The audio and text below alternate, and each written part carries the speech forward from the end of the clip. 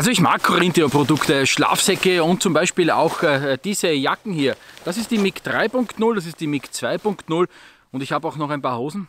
Aber bei den Jacken, da habe ich ein ernsthaftes Problem mittlerweile und wenn du wissen willst, was das bedeutet, ja dann bleib dran. Hallo, willkommen, da ist der Reine Rossmann vom Survival Shop Problemskunst, schön, dass du dabei bist. Und MIG 2.0, MIG 3.0. Aber ich fange bei der MIG 2.0 an. Da war ich noch ein paar Kilo leichter, das heißt, das war noch eine L Jetzt ist es XL, aber das ist gar nicht der Punkt. Die hatte ich noch in schwarz und mit der Zeit hat sich der Zip hier aufgelöst. Also du kannst das sehen, also der Zip ist kaputt. Der Zip ist definitiv kaputt und das liegt nicht daran, dass ich ein Dummkopf bin, sondern es hat sich einfach mit der Zeit so ergeben. Ich hatte die zweieinhalb, drei Jahre sowas, schätze ich jetzt mal im Einsatz. Ja, das ist so, wenn du dann den Zip da reingeben willst, dann, dann zieht sich der durch und er ist kaputt geworden und ich habe mir nichts dabei gedacht. Es ist dann auch so, dass genau an dieser Stelle hier, ich weiß nicht, ob du das erkennen kannst, der Zip da auch abknickt. Das liegt daran, dass du die Jacke ähm, vielleicht nicht ganz zu hast. Du magst unten zu. Gib mir ein bisschen Geduld, äh, hab ein bisschen Geduld, gib mir ein bisschen Zeit. Du hast sie noch bis daher offen und dann hängt das hier und das weitet sie aus und wird kaputt. So, das ist die MIG 2.0. Jetzt ist die kaputt geworden und ich habe mir nichts dabei gedacht und habe mir gesagt, ich mag das Konzept und es ist ja wirklich federleicht und schön warm und super und wunderbar und du kannst es schön komprimieren. Ich mag diese Jacken wirklich wahrlich. Und jetzt ist bei dieser MIG 3.0, die ich jetzt habe, ich möchte was zeigen. Hier habe ich halt das in grün und in XL. Aber das ist nicht der Punkt. Schau mal her, da ist der Zip und ich nehme das und schau da was an.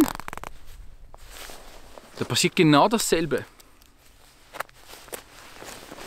Das heißt, der Zip hier an dieser Stelle macht bei der Generation 2 und jetzt hier bei der Generation 3 genau dasselbe nach kürzester Zeit. Also kürzester Zeit, ich meine, okay, muss fair sein.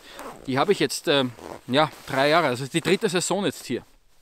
Aber äh, wir haben jetzt Jänner, Anfang Jänner. Jetzt beginnt die sich aufzulösen, schau. Der Zip ist im A. Und hier an der Stelle beginnt es auch schon auszufasern. Also, jetzt mag ich eine, einen Rundbrief sozusagen oder eine Rundfrage hier machen. Geht dir das auch so? Hast du diese Jacke? Und ist dir, passiert dir das auch, dass genau das hier passiert? Vielleicht bin ich ja Dummkopf und mache irgendwas falsch. Könnte ja sein, weiß ich nicht. Ja?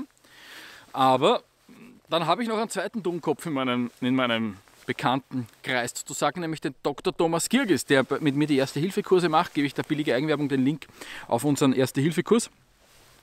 Und der hat auch so eine. Und äh, du hast ja auch gedacht, super, Carinthia, bla bla bla. Und hat sie auch andauernd an. Also schau, da muss man auch was dazu sagen.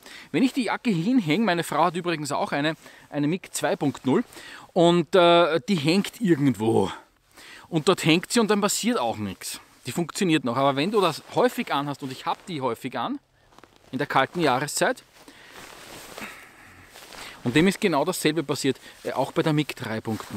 Und jetzt ist halt für mich dann der Punkt, wo ich sage, okay, wenn das eine, eine, eine, so eine Billigsdorfer Jacke ist, die ich ja auch immer wieder vorgestellt habe, gibt da oben da den Link zu, zu einem, die, die, die 50 Euro kostet, dann sage ich, okay, wenn die nach zwei Saisonen hin ist oder auch wenn sie nach einer Saison hin ist, das ist vielleicht umwelttechnisch, ökologisch, rohstofftechnisch absoluter Wahnsinn, klar, aber dann sage ich vom Preis, den ich bezahlt habe, äh, okay.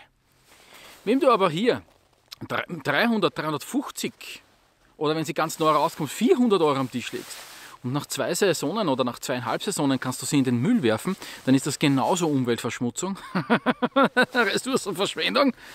Ja, auch wenn es vielleicht nicht aus China kommt, sondern in der EU produziert wird. Aber trotzdem, und ich habe 400 Euro in den Sand gesetzt. Und das ist so, so, der Punkt. Liegt das nur an mir? Und das ist jetzt nämlich die Frage, die ich hier in den Raum stelle. Liegt das nur an mir? Oder hast du diese MIG 2.0, 3.0 oder jetzt auch die 4.0, wobei die ist zu frisch, um da etwas zu sagen, und hast dieses Problem auch? Das würde mich ernsthaft wahrlich interessieren. Schreib mir bitte unten einen Kommentar und auch, wie oft du sie anhast. Und mit oft meine ich, ich bin mir sicher, du hast keine Stricherliste. Aber wie, wie häufig hast du sie an? Hast du sie dann täglich an oder einmal in der Woche oder einmal im Monat oder sie hängt im Kasten und schaut dort cool aus, was total in Ordnung ist. Ja, ich habe auch Kleidungsstücke, die einfach da hängen und ich habe mir gedacht, die ist cool. Und, aber weißt du, du hast sie im Einsatz und, und sag mir, wie es bei dir mit dem Zip ausschaut. Das war's. Ein ganz kurzes Video. Bitte unten einen Kommentar schreiben, da würde ich mich wirklich, wirklich wahrlich freuen drüber. Link äh, zum Ersthilfekurs und zu anderen Dingen natürlich eh ganz klar billige Eigenwerbung. Abo, ein paar andere Videos. Danke, bis bald und ciao.